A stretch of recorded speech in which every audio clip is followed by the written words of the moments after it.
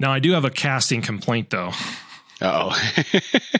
So they're hyping up this White Death, and you don't see him. You just see him as a younger man, and he's like, you know, he's six five and he's super jacked. Yeah. And then I get freaking Michael Shannon. in a robe, in like a bathrobe.